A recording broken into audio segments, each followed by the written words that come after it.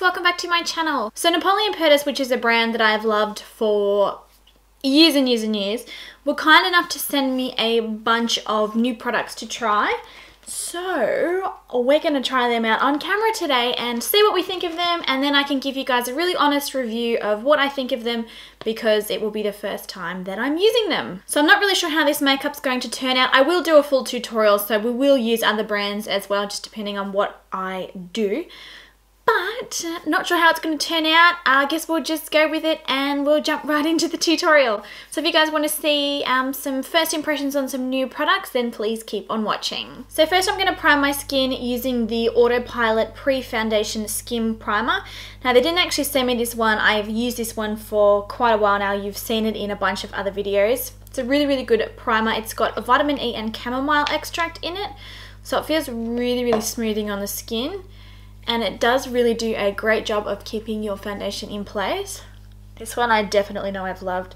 Oh, it really does feel, it nearly feels cooling on the skin. It's really, really nice and soothing. Next up, I'm going to use the Napoleon Autopilot, what is this, Pore Minimizer and Mattifier. Once again, I've had this one for quite a little while. Brandon actually bought this for me, I think about two years ago for a birthday, so this one obviously is a pore minimizer, so I'm only going to be popping this one really on the center of my face here, just where I've got enlarged pores. And it is brown, so don't mind if it gives my skin a little bit of a color. It's very similar in texture to the Benefit POREfessional. This feels really smooth. I think it's got a silicon base. Has to have a silicon base, because why else would it have this soft, smooth feeling? Next up, I'm going to use the new uh, Stroke of Genius Liquid Cashmere Foundation.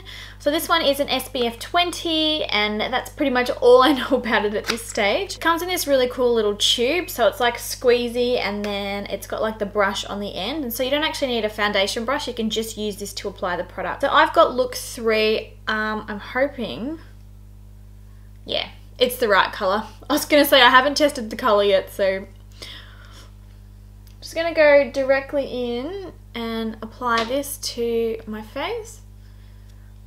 Oh, it's actually the perfect colour for me. They did well.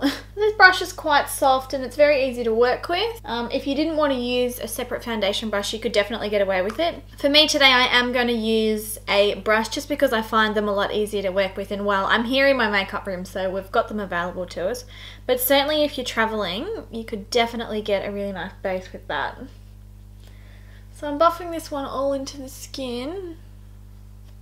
It seems like it is going to be a really full coverage foundation because I didn't really apply too much and as you can see it's already really really building up sort of on the skin but without looking cakey at all. really like it. Also very very easy to blend out like it it's taking me pretty much no time to blend this out. I'm now going to go in and fill in my brows. I'm not going to bother filming that and going through it because you guys have seen me do it a thousand times, but I will link my full brow tutorial in the description bar below. Okay, so the brows are on. I'm now going to go in and start on the eyes. So starting with my MAC Pro Longwear paint pot. This is Soft Ochre. I'm just going to use this to prime my lids. So all of the shadows that I'm using today are from this Prismatic Eyeshadow Quad. And this one is number five. I'll just get it out of the box. The packaging is absolutely gorgeous with Napoleon. I'm pretty sure everybody knows that, you know, they're on point with their packaging. So the packaging is, oh, we just lost a brush. The packaging is this clear plastic and then it's got like the gold emblem and then inside you've got two applicator brushes, but one of mine fell out. So two applicator brushes and then four different really, really beautiful sort of shimmery metallic shades. These do come in a bunch of different colors. I think they've got like 15 different options or something like that. So there's certainly going to be a palette that'll suit your skin tone and I think they go from, you know, really dark sort of colors for nights out to more daytime wearable shades. So starting off with the lightest color from the palette, I'm going to take that on a MAC 239 and I'm going to use this one on my brow bone as a highlight. Next up I'm going to take this, I don't know, what would you call that, a pinky beige? To pick that one up on a Sigma E35 blending brush and I'm going to work that one through the socket.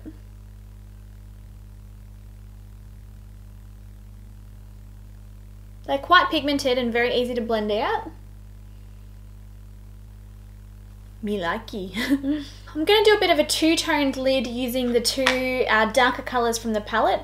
So first I'm going to pick up this really gorgeous, it's like a dark purple but it's got a really pretty sort of pink shimmer through it. And I'm taking that on a Sigma E58. I'm going to be applying this to the outer third of the eye and the inner third.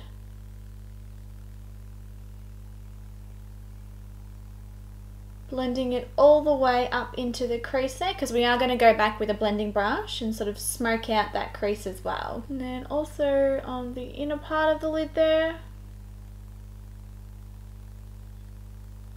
Now I'm going to take that lighter mauve shade and I'm going to place that right on the center of the lid.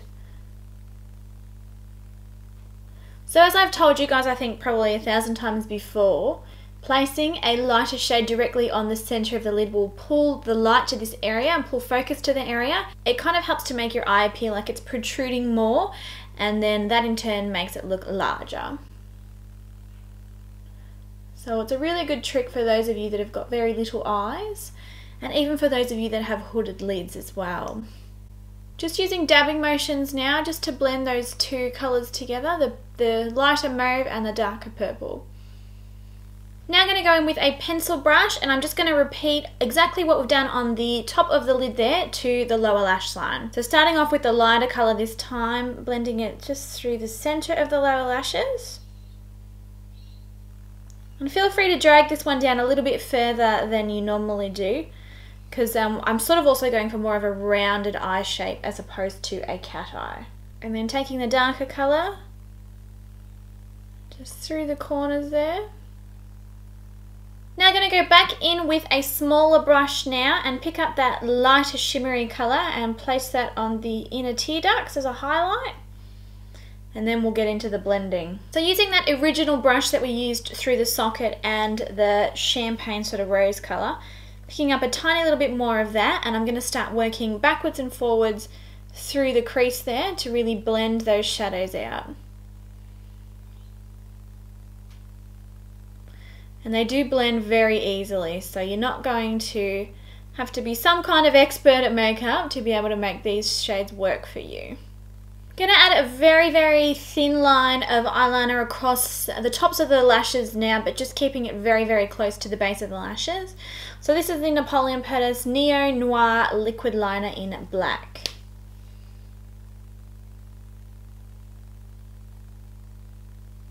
Okay, so we're ready for mascara now. So I'm going to use the Napoleon Perdis Mesmer-Eyes Mascara. So this is a, it's got a funny little wand. It's like a flat comb and then one side of it has got like uh, small little bristles that are more widely spaced apart and then the other side are finer bristles that are closer together. So you can obviously use it to, um, you know, build up different types of volume or length depending on what look you're going for.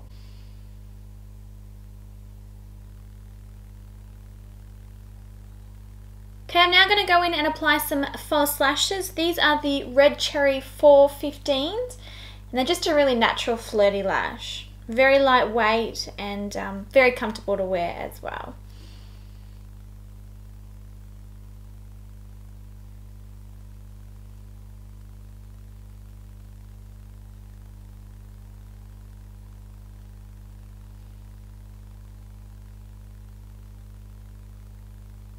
Now that those are on, I'm going to finish the look by lining the waterline with a nude coloured pencil. This is the Rimmel Scandal Eyes Kohl pencil in number 5 nude.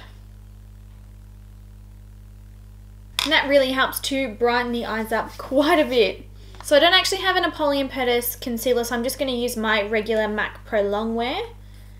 I'm just going to use this to do a little bit of highlighting under the eyes. To be honest, that foundation is absolutely gorgeous and so full coverage that I don't really even need concealer. It's covered pretty much everything so that is a major plus for me. I'm going to use the Models Prefer, this is the number 104 airbrush concealer to apply this.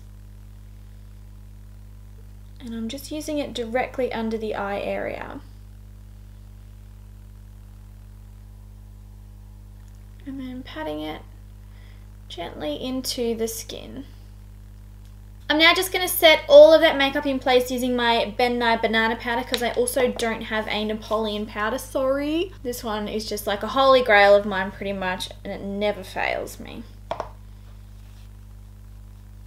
Sorry guys, I did just realise that the foundation does explain a little bit about it on the side of the box.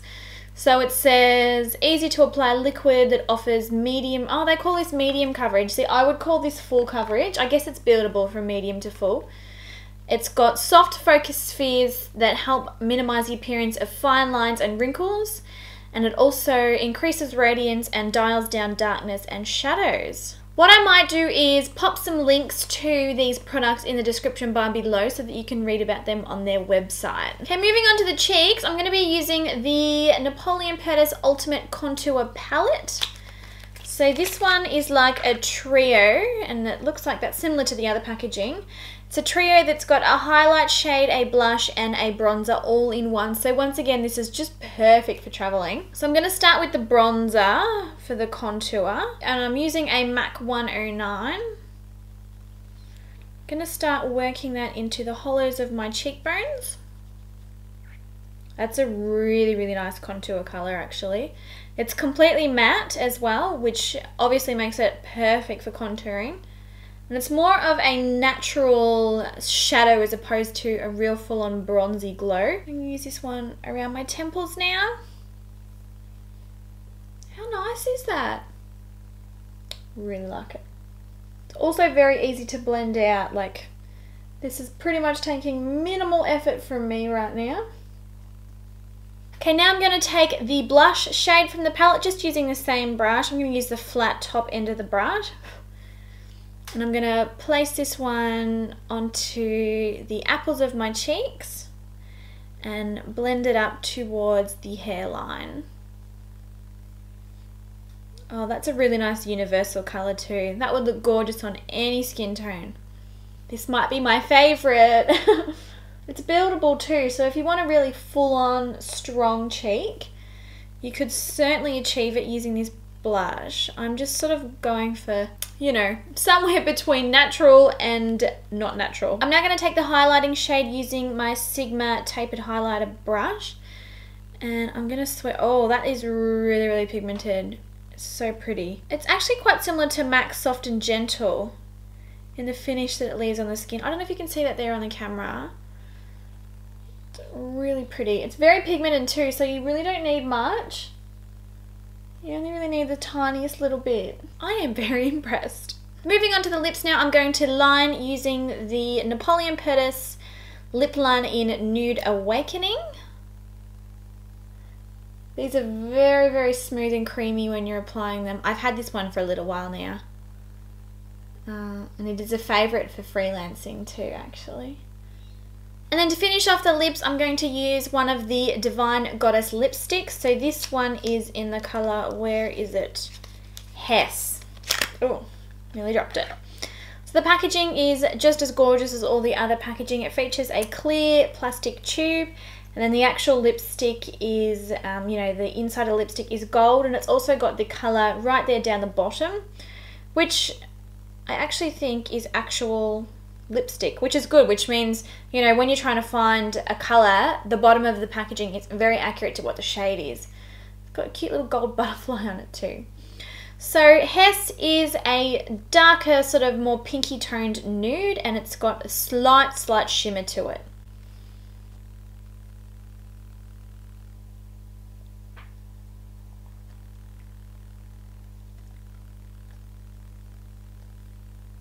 And that completes the makeup look. I love the way that all of these colours work together.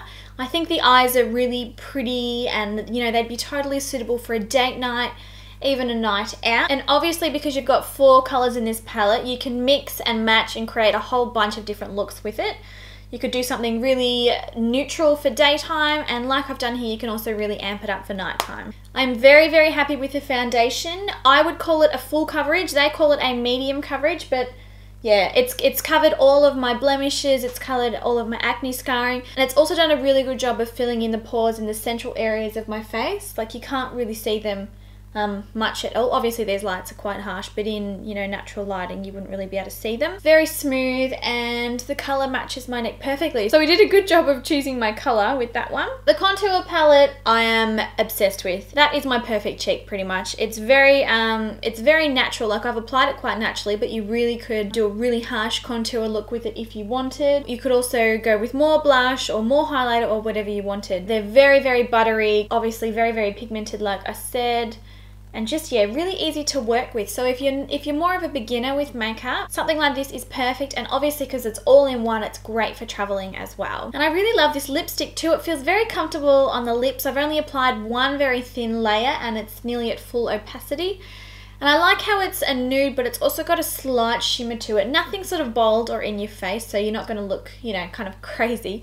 But um, yeah, it's a really, really pretty colour and it feels light on the lips and it also feels very moisturising. So as an overall, I absolutely love all of the products that I used in this video today.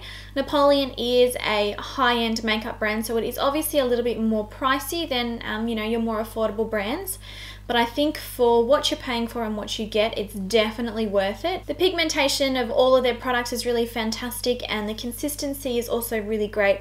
So it makes them very, very easy to work with. All of the powders are very, very finely milled and easy to blend as well. So yeah, I hope you guys enjoyed this tutorial. Give it a big thumbs up if you did enjoy it and don't forget to hit that subscribe button as well. Do also let me know in the description bar below if you want to see more of these, you know, one brand tutorials or you know, first impressions and more reviews of new products that I'm trying because I am trying a lot of new products every week so I can update you um, quite regularly on that kind of stuff. So thank you guys so much for watching. I hope you're having a great day and I will catch you guys in the next video. Bye! All of the focus on these beautiful rainbow eyes rather than the rest of the face. So that completes the makeup look today guys. I hope you really enjoyed it. I love, love, love the way this one turned out. I'm a big fan of colour and if you're going to use a colour, why not use them all together at once? Certainly doesn't bother me. This is something that you could really pair with a, you know, a little black dress on a night out and it just really would contrast so well and just look really, really amazing. So for my Aussie girls, if you're wanting to get your hands on this palette, I have got a website linked below where you can get it. And it's nearly for exactly the